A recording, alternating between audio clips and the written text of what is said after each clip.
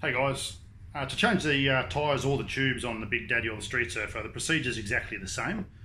Uh, the only difference between the two is that the Big Daddy has a larger tyre and tube, so the rims and everything are absolutely identical. So there's no difference in what I'm showing you with this as there would be with the Big Daddy. Now what we need is we just need to take the wheels off first of all before we get started. Um, and that's a 19mm either a socket set, shifter, or a 19mm spanner just to undo this bolt. So I'm just using uh, the power drill to undo that. So this is the drive wheel. Now taking the drive wheel off is a bit different to the rest of them. You do need to pull and twist, pull and twist to actually remove that tyre. So that's the way to get that tyre off, um, ready to rock and roll to take over and change the tyre or tube. Okay guys, so this is the, uh, the non-drive wheel. Uh, so taking the non-drive wheel off to change a tyre or tube, you just need the 19mm driver, 19mm spanner or an adjustable wrench. Undo that top bolt and this wheel just lifts straight off. The drive bolt you need to twist and remove, but this wheel just lifts straight off, ready to take over and uh, change your tyre or tube. Now the rims are identical on both of these boards, so there is no difference to changing the tyre and tube on a Big Daddy or on Street Surfer. They're just a different tyre and tube. The rims are all identical, so the procedure doesn't change. Now this is the drive wheel, so changing the drive wheel, you do have the gear cog on the back, so there is an extra step. What you need for this is you need a 5mm Allen key or driver for your drill, and you also need a 10mm, and you also need a pump to reinflate the tyre at the end. Now if you're replacing it because you've got a flat tyre, the tyre will already be deflated. But if it's not because of a flat tyre, um, you do need to take the air out of the tyre before you start. Okay guys, so we've deflated that tyre now, so that's ready to undo. First thing is you need to remove need to remove that drive gear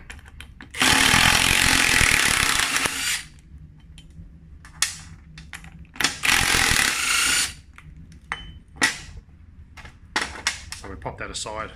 Now once we've taken that off, you'll see there's little nuts. They're on the back of the, the hub and there's the Allen key bolts on the front. Now because the back half of this rim is threaded, you do need to take those nuts off first. So you can't take the bolts out until the nuts are removed. So this is where the 10mm driver works.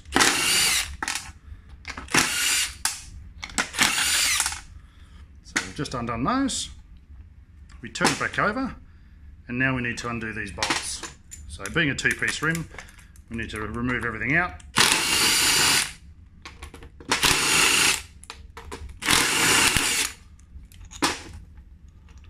That's to allow for the bolts to be removed. Once that's done, you can actually remove the two sides of the rim. So you've got the front half, spacer in the back, and then you've got the rear half. Now that's removed, you can just pull that tyre out, the tube out from the inside, that uh, we're replacing because of a, a, puncture or whatever reason and we just need to replace that with a new tube or tyre. So in this case here guys, um, you've got the choice at this stage. If you need a new tyre, you just transfer the tube that's just come out into a new tyre. Where this, because of a flat tube, and I'm just going to replace the tube in this situation, what we need is we need to put a new tube inside the tyre, which is just, just a matter of squeezing it and working it into the gaps.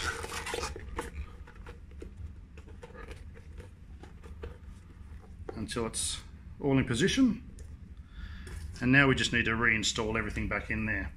Now, if you're replacing the tube, what you would have found is on the old tube, there's a little grommet that actually sits over the valve. And that's just to protect the end of that against the rim when we, uh, we put it all back together. Now, very important that when you're doing this, this we get the front to the right direction. So first thing is get the rear, put the rear side flat down on your on your workspace and have the valve pointing up so we know that's going to be going to the front. Now the rear for the drive wheel is really easy to identify. You've got this extra part for the drive gear. Um, with a non-drive wheel, the rear part of the hub looks identical to the front, but the rear part has thread in it. So that's the easiest way to tell the difference between the two.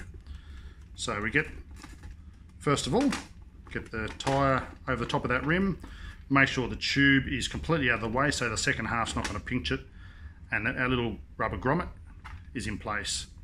Then we put our spacer. Very important that you don't put that, that you put that spacer in. That actually is what keeps the bearings in their location and doesn't let the bearings get pushed out under, under pressure. We then feed the top half of the, the rim, lining it up with the little grooves for that rubber grommet.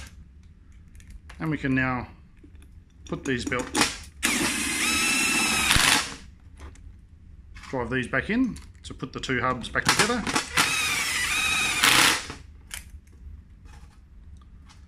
One more. That's done. Just make sure that we're all nice and neat. We flip it over. We put the washers over the three nuts.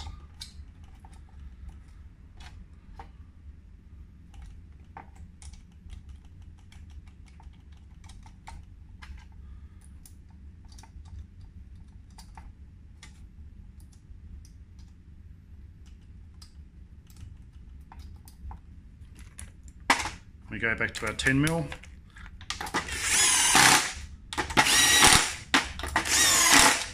Just make sure they're going correctly.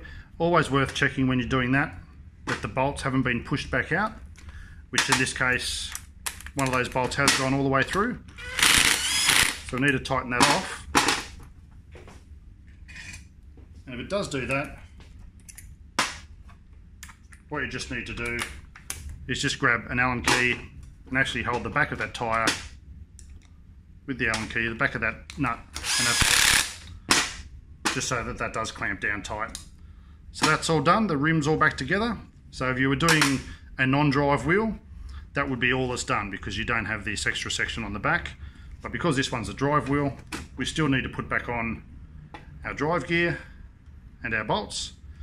Now if the bolts have come off and the washers have come away, when you put it back on, you've got the spring washer at the top, followed by the flat washer, just so you have them the right way around.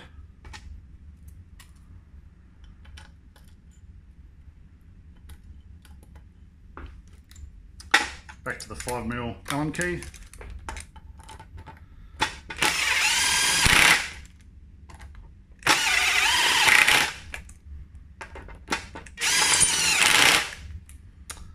And that's that. So that is all completely done now. All that's required is to inflate that tyre up 25 to 30 psi and pop it back onto the skateboard and you're ready to rock and roll.